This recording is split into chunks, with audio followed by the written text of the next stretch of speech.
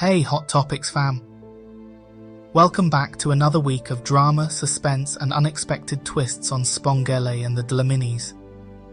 We've got an explosive lineup for you this week on our Christmas special. But before we dive into the juicy details, don't forget to hit that subscribe button and ring the notification bell so you never miss out on the latest gossip. Alright, let's kick things off with a bang on Monday, December 25th, 2023. This Christmas, tensions rise as Vusi threatens to expose Njengaye and Nomfundo's affair to Pateni. Will the holiday spirit prevail, or will secrets be unveiled under the Christmas tree? Find out as we unwrap the drama on Monday night. And on Tuesday, December 26th, the drama continues to escalate. Njengaye is left in disbelief as his own son resorts to blackmail for power. Asanda, worried about Velephi, faces resistance from Zakes.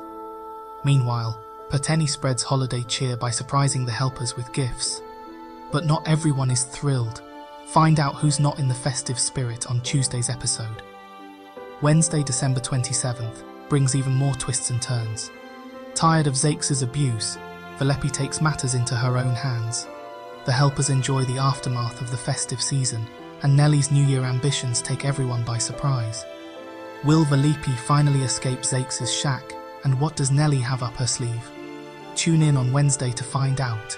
And there you have it, Hot Topics fam, a sneak peek into the drama-packed week ahead on Sibongile and the Dlaminis.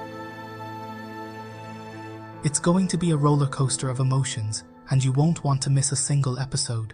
Remember to like this video, share it with your friends, and comment below with your predictions for the upcoming episodes. Until next time, stay tuned to Hot Topics for all the latest buzz. Happy holidays, and may your drama be as entertaining as our favourite soap opera.